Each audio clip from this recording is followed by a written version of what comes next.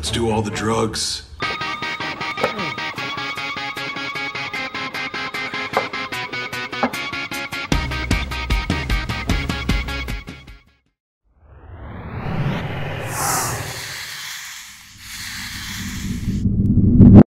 When things go wrong, people usually end up in the hospital. Managing overdoses, clinical toxicology, those make up an important part of emergency medicine and my day to day practice. So I thought I'd share with you how I go about managing a magic mushroom overdose.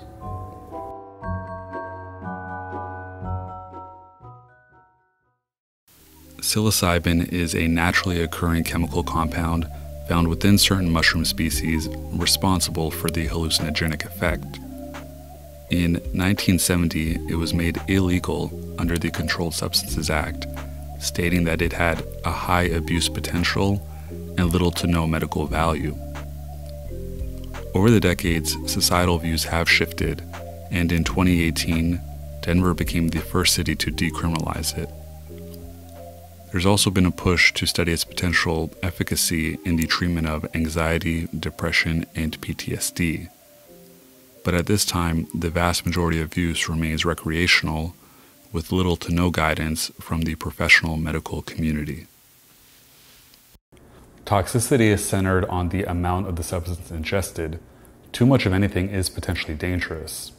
If we call the therapeutic effect of psilocybin hallucinations,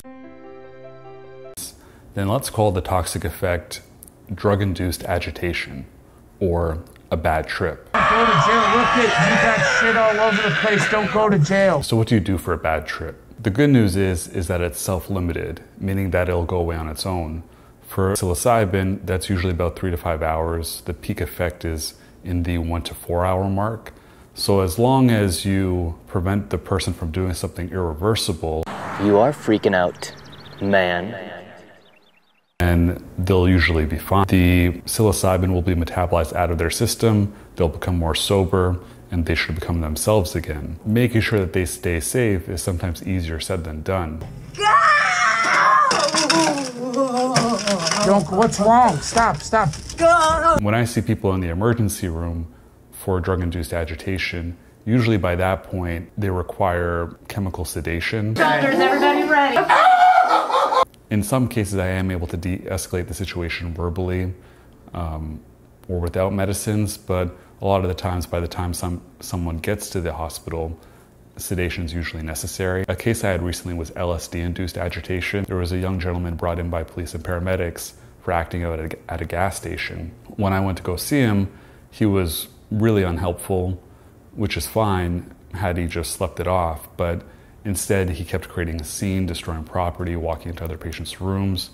And for his safety, staff safety, and for the work environment, the appropriate thing to do in that case was to chemically sedate him. There's different medications that, that I can use, and I'll go into detail in other videos on which ones I use and why I use them.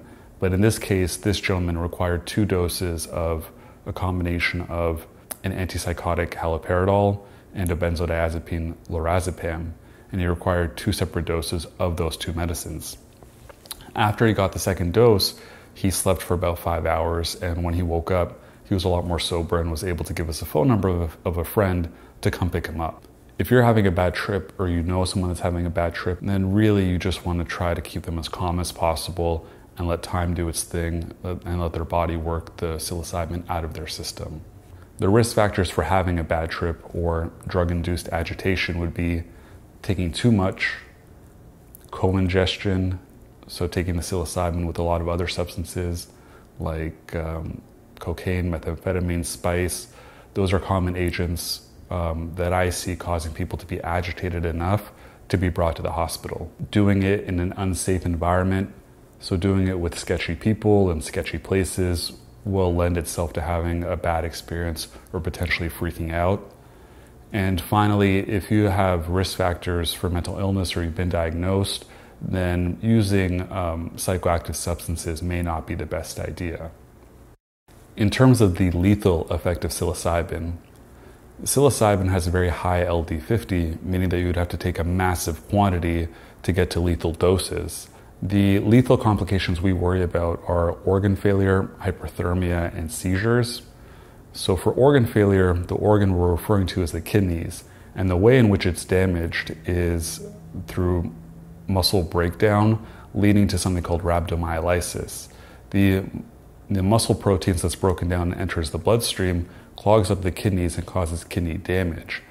Usually, this is reversible, and a lot of the times, the only treatment that's needed is fluids, but it can progress to requiring dialysis. But very, very, very rarely is that the case, and even more rare is it likely to cause permanent kidney failure.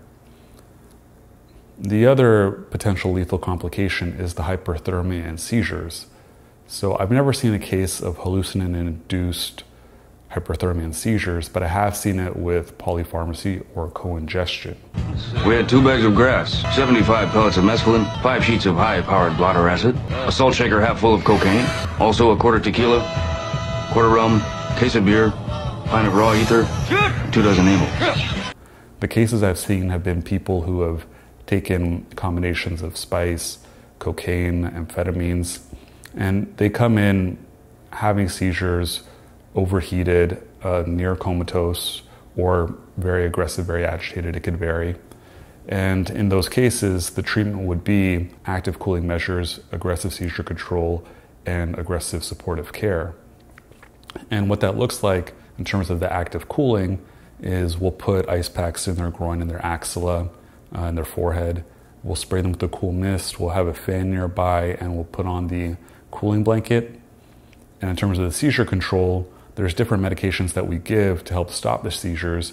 The only problem is, is that it also stops the respiratory drive. So in that case, usually we need to put the person into a medically induced coma with the ventilator. And I'll go into detail in other videos in terms of how we do that.